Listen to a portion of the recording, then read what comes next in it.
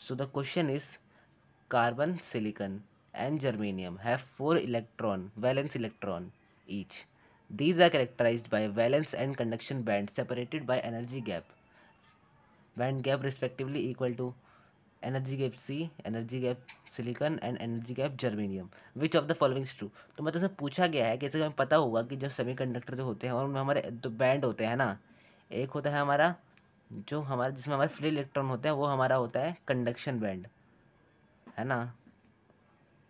तो ये हमारा कंडक्शन बैंड है। और जिसमें हमारे बॉन्डेड इलेक्ट्रॉन्स होते हैं, वो हमारा कहलाता है वैलेंस बैंड ये है हमारा वैलेंस बैंड है ना? और जो इन दोनों के बीच का जो गैप होता है ना, इसको हम कहते हैं एनर्जी गैप तो हमसे इसकी वैल्यू पूछी है कि मतलब जो इसका ऑर्डर होगा वैल्यू का कार्बन सिलिकन और जर्मेनियम के लिए क्या होगा? तो जैसे कि ना, देखो, इसके लिए हमारे केमिस्ट्री का कॉन्सेप्ट है, वो लगेगा। जैसे कि हम पता हुआ कि देखो कार्बन सिलिकन जर्मेनियम सब एक ही ग्रुप से आते हैं ना?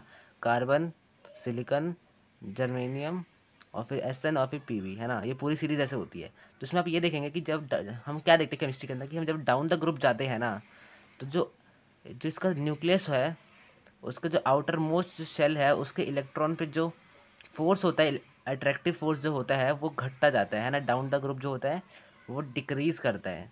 तो इससे क्या हुआ कि मतलब जो जो बाहर वाला जो इलेक्ट्रॉन होगा, उस पर कम अगर फोर्स लगेगा तो वो आराम से बाहर भाग सके और भाग सकता है और वो कंडक्शन बैंड में जाके कंडक्शन का इलेक्ट्रॉन बन सकता है। तो जो हम जैसे नीचे जाएँगे डाउन द ग्रुप तो मतलब हमारा इसके भागने की जो प्रोबेबिलिटी है, वो बढ़ती जाएगी, है ना?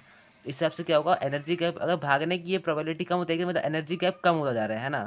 क्योंकि एनर्जी गैप जितना ज़्यादा होगा, है ना? तो इलेक्ट्रॉन निकल नहीं पाएगा। एनर्जी गैप कम होगा तो इलेक्ट्रॉन आसानी से निकल जाएगा।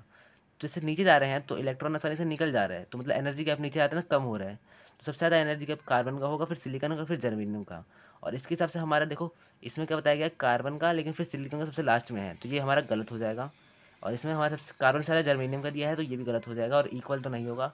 और हमारा सी ऑप्शन है, जिसमें हमारा जर कार्बन का सबसे ज़्यादा है, फिर सिलिकन का है उससे कम, और फिर से कम जर्मीनियम का एनर्जी गैप है तो हमारा जो सी ऑप्शन है, वो करेक्ट हो जाएगा।